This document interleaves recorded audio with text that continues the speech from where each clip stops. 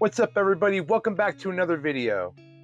Today I'm going to share with you how I edit my videos. Like, share, subscribe if you find this video useful.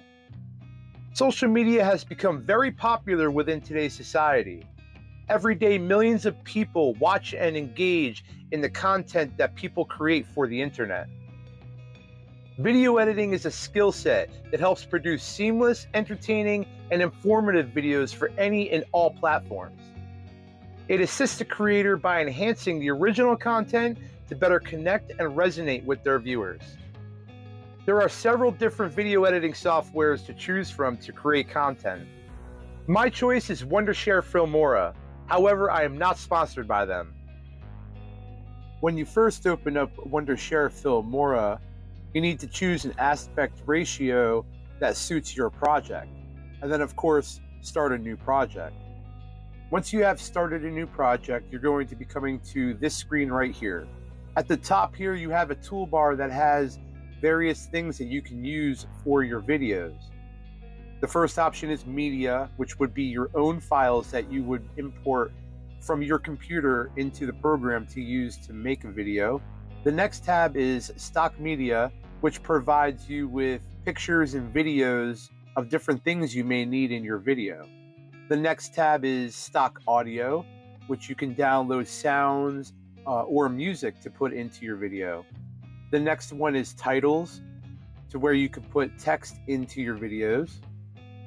And the next one is the transitions that help you go seamlessly from one scene to the next. The next tab is effects, where you can add certain effects to your scene. The next tab is stickers, which you can download different types of stickers that you can put into your video as well. And then, of course, you have pre made templates that is available to use. The first thing that I do when I'm making a video is, of course, I make sure my aspect ratio is correct for my project. In this case, is 16 by 9 widescreen. And so the first thing that I do is I import all of the video clips and audio clips and whatever I want to put into my video that I have to use that I don't need stock media for.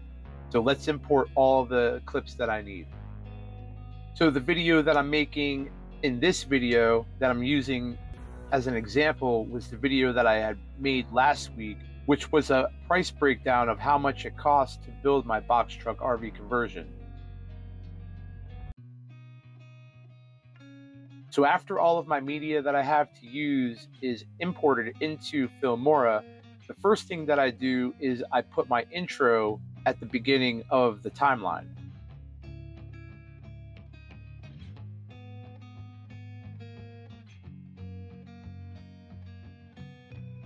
The next thing I do is take my voiceover clip and put it into my timeline.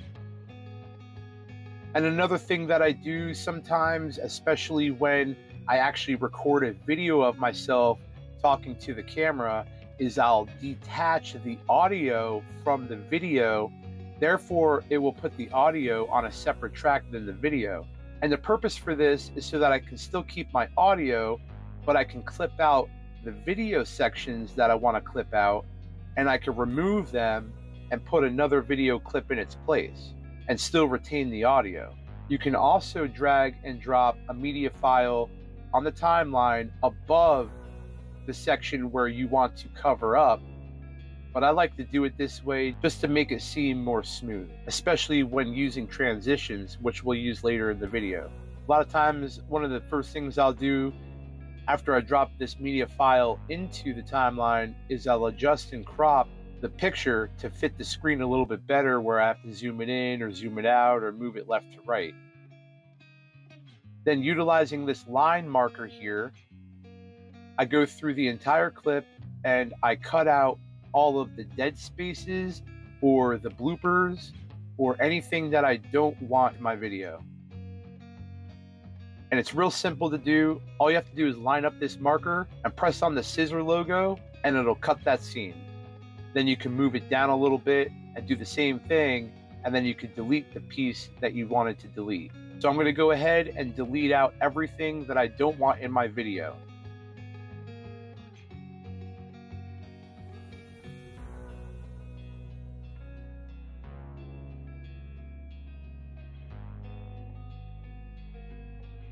Once you have everything cut out of the video that you don't want in your video, the next thing that I did was mess with my green screen. There's a few ways of doing this. You can either cut yourself out and remove the background completely and put a different background behind you, or you can just change the color of the background to a different color, and that's what I did. After removing the background or changing the color, or even leaving it as it is, Next thing I do is I play through the video until I reach a part where I want to switch the video file for a different one. In this case, I'm removing myself and I'm replacing it with drone footage of the box. And as you can see, I fit the drone footage of the box right within the timeline between my speaking point. And so I'll go through most of the video or even the entire video and I'll swap out video files on the timeline for a different one depending on what I'm talking about at the time. And this to me makes the video more interesting. So you're not looking at the same thing the entire time. The scene is changing depending upon what you're talking about to help the viewer understand what you're talking about by also being able to see it.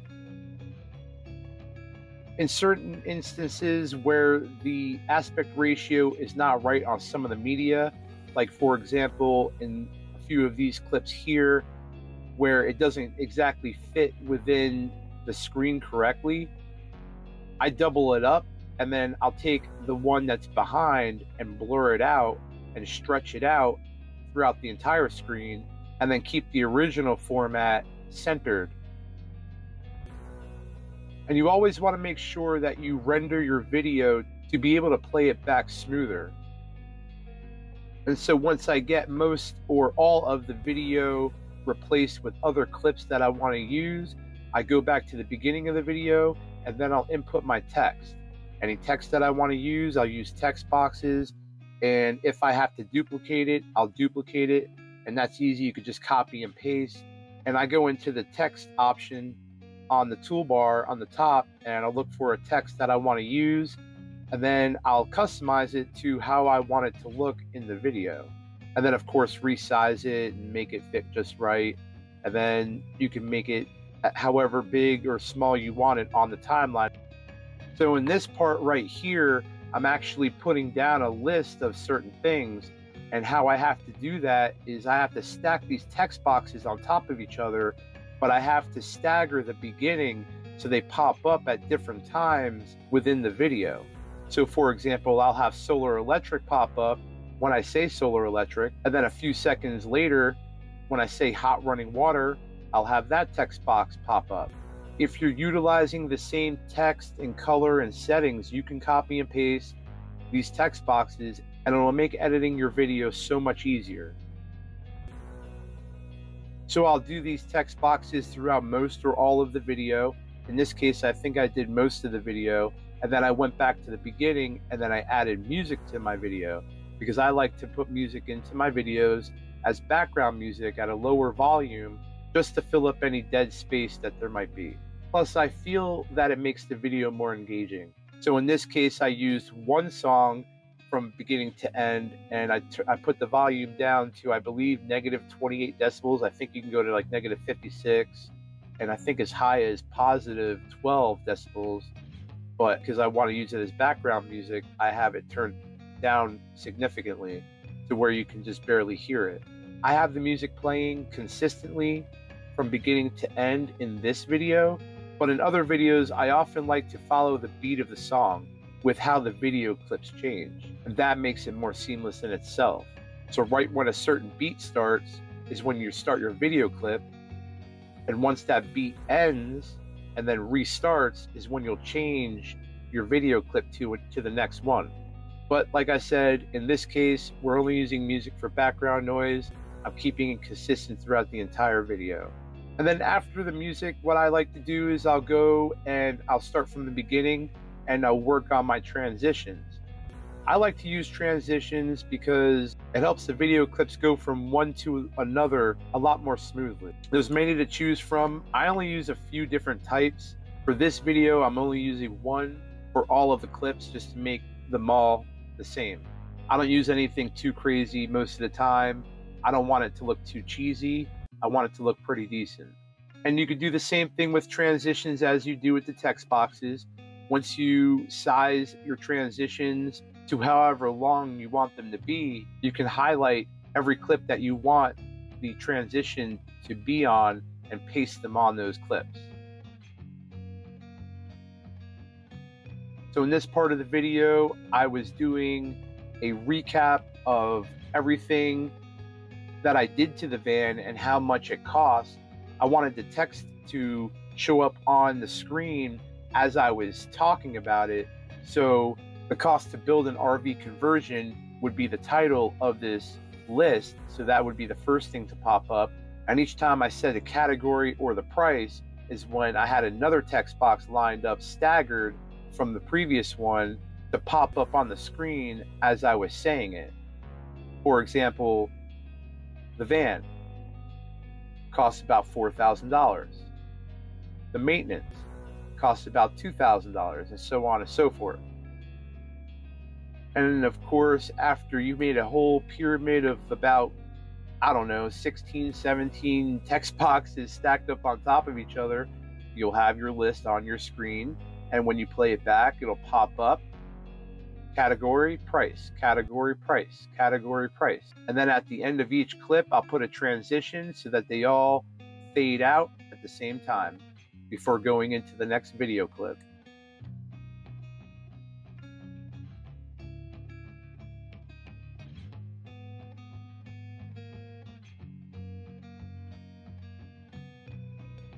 And then one of the last things that I'll do is I'll go into the stickers and I'll put a couple stickers in my video, such as leave a comment, or I'll put a subscribe sticker down there, animated, of course, to where it'll click on the subscribe and then the like and then the notification bell.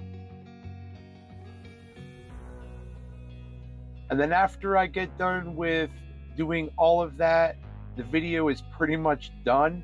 I'll go back and uh, I'll render the video first just to make sure it plays back smoothly.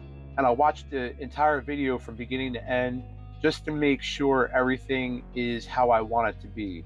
Whether it's the text boxes, the transitions, or the video itself, or the audio, if it's too high or low, I could adjust everything and anything. It's basically like proofing it just to make sure that everything's good before I make it into a video. Once everything is to my liking, then I go and click on export and then export it into a video. Always make sure that you save your project as you go along. There's nothing worse than working hard just for it to be erased. And then when your video is done, this is what your timeline will look like. Or similar to that. Depends on how basic or complex you need or want your video to be. I feel like I'm pretty decent with video editing. I'm not the greatest, but I'm not the worst either there is a lot of tools that Filmora offers that you can use, but I don't really use it because I don't understand them all just yet. But I'm working on it and I'm trying new things almost every video that I make just to try to better myself and to create better content for all of you.